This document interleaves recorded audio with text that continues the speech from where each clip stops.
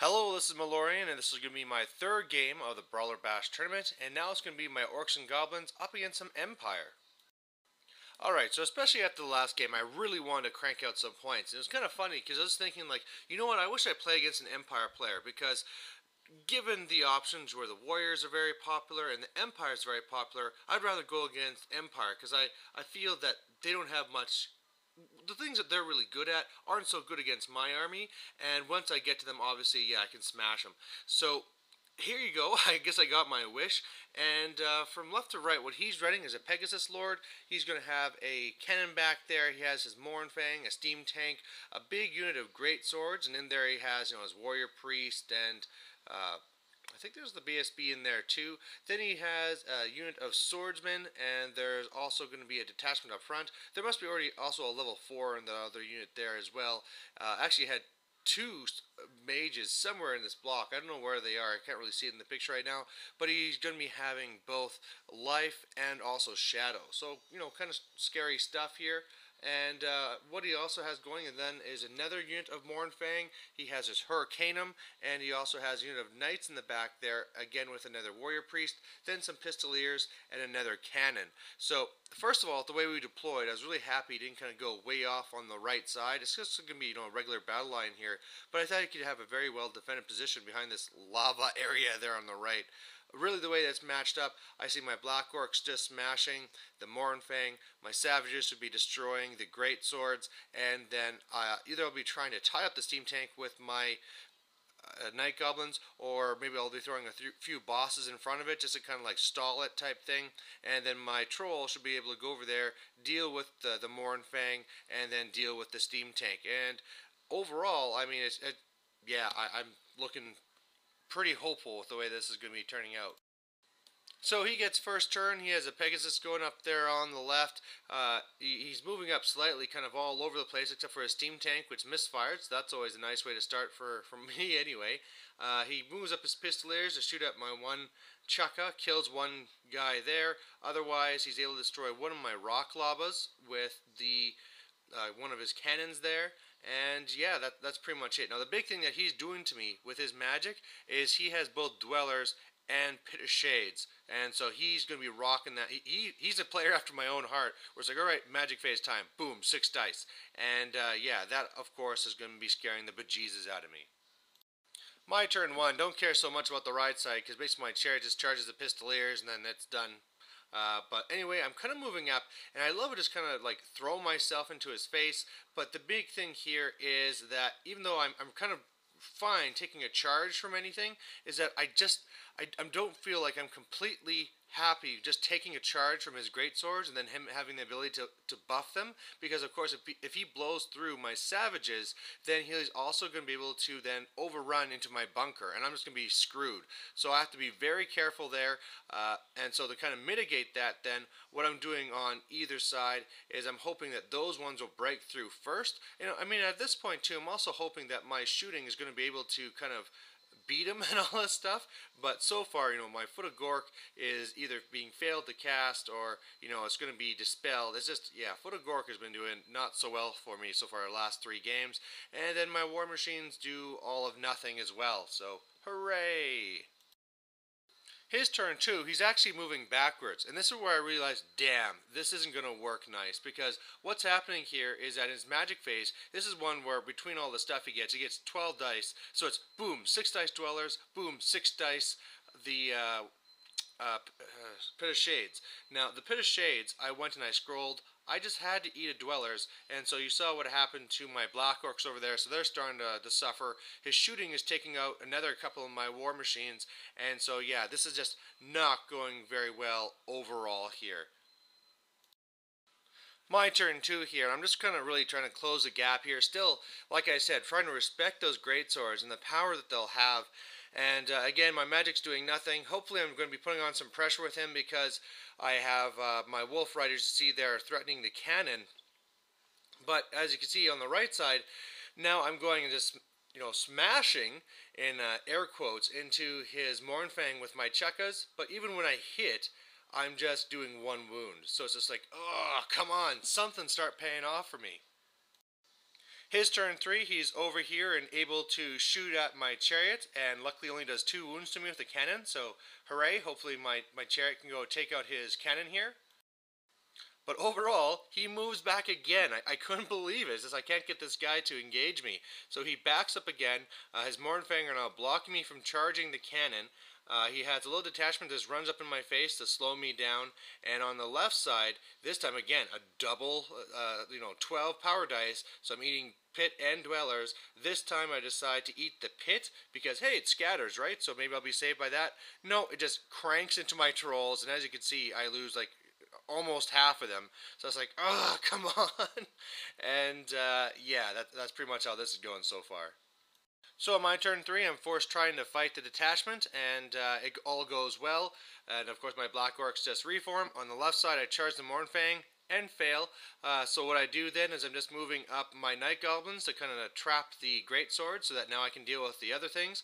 Uh, in the Magic phase, I'm able to go and give re-rolls to the Savages, but that's pretty much it for my turn. I mean, as, as usual, as you'd expect, my shooting, what I have left with the few Chukkas I have at this point, they do nothing his turn four, and he now finally charges into my Black Orcs. And it's like, oh, finally, I get to kill something. Of course, I mean, that's going to be hard because he has Flesh to Stone on them. But even then, uh, with my Strength 7, I should be able to take care of these guys.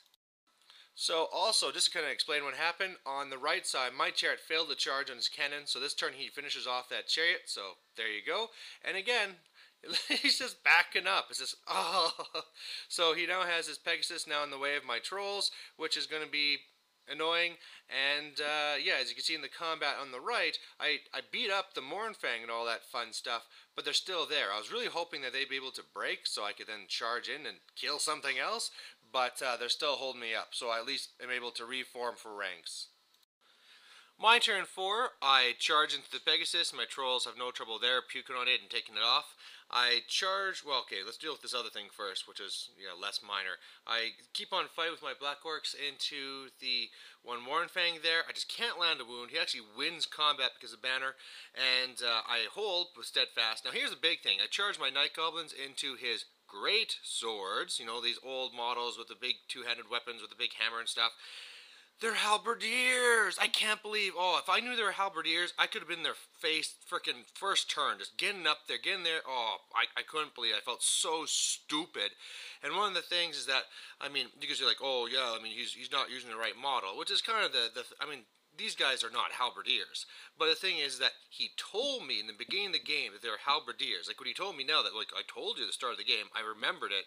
And second of all, remember this is an open list. So I mean I'm looking at the list. It's saying halberdiers, but I just look at the models and I was thinking, you know, great sword. So I couldn't believe that. Uh, otherwise, yeah, I'm just now kicking myself for being so dumb and how this should be going so much better. His turn five, he charges in his knights into the savages. I think this was kind of a mistake, uh, but he was probably doing more of as a delay factor, because if I got these now into what I knew were halberdiers and swordsmen, I would just destroy them. But uh, either way, yeah, looking again forward to finally get to kill something with my orcs. So otherwise in his turn, you can see his swordsmen are over there to try and block my black orcs if I got through. But hey, look, I didn't get any wounds again, and he's still there. So uh, yeah, that's kind of sucks. Uh, my night goblins are still being whittled through. You can see that my savages went and uh, you know killed everything except for the the priest who passed his break test. So he's holding me up. Uh, another pit of shades I had to eat, and it didn't scatter, so it killed even more of my trolls. And so now three, uh, four trolls have to fight two Mournfang. Don't really know how that's going to work out. But uh, yeah, it's just. My turn five, some good and some bad. I finish off the priest, I finish off the last Mournfang, The trolls go into the other Mournfang, and I completely whiff. I, I do nothing. I then break, and he runs me down. So there's a whole bunch of points gone. Uh, remember that in a game like this, though, I don't totally care about it because it's all about the points you get, not the points you give up. But still, I mean, those trolls should have done so much better than this. It's just the fact that they had to eat two Pit of Shades, and yeah, yeah, jeez. But either way, in the combat, I'm still steadfast with my Night Goblins, and uh, yeah, just one more turn. His turn six, he sends a steam tank into my savages. It's not that, I mean, he's not to break me, I'm to be steadfast, blah, blah. But the main thing is like, well, now my savages, my savages also did nothing for me this game. And so that's just sad overall. So at the end of it, he goes and, uh, you know, pretty much just backs up with anything that's not important. My Night Goblins break. I can't remember why, but my bunker. Oh yeah, his Morn two main Mournfang charged my bunker, and I fled and got away. But uh, yeah, stuff is just kind of like dying all over the place. And so on my turn six, there's nothing for me to do except for, well, you know, not rally. Look at this. My Night Goblins on a leadership five are able to rally, but my other guys here, you know, on leadership eight, were not.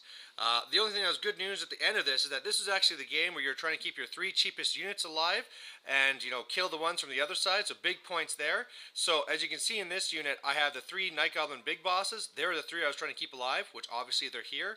His were the two cannons in the detachment, and I mean, one of the cannons was destroyed, the detachment was destroyed. So overall, the scenario gave me a whole bunch of, of victory points. So at the end of the day, if you looked, if it was a regular game, he would have won the game. But because of scenario, I pulled ahead. And, hey, he's a baby, and I got the win. But uh, the big thing here is that going into this game, you know, he told me that, oh yeah, you know, he's a friend of mine, spitting all this stuff. I thought it was gonna be a really great game.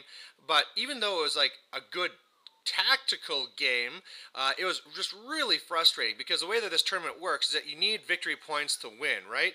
And whenever you play against somebody that just backs up and plays defensive, well, it's bad for them. And you're like, well, okay, you're not going to get a lot of points, but it's also bad for the other person. You know, so both of us are going to be getting low scores. And this is something he said that he was finding with his first two games too. Is like, oh yeah, he's winning his games, but he's not getting a lot of victory points. And this is why it's going to happen. Uh, so that was kind of you know frustrating to try and play a game like that in a one where you need to be crushing stuff, but at the same time, I also have to kind of be really frustrated with myself just for, you know, failing at reading comprehension. Because again, I mean, I could blame him for not having the right models and using models that people usually use as proxies as uh, great swords. But the fact that he told me and it was an open list, I really can only blame myself. And of course, I mean, looking back on this report and, you know, knowing that they're just halberdiers, I would have played so differently and just being right in his face because, yeah, you know, great swords are hitting on uh, a 3 plus and wounding on a 2 plus are so much different than just, you know, little halberdiers where I can also kill them because they have pretty much no armor and, oh, frustrating, frustrating, frustrating. So overall, I got about 3,000 points in this game, got another win, but uh, yeah, wish it could have been a lot more. Thanks for watching. Bye.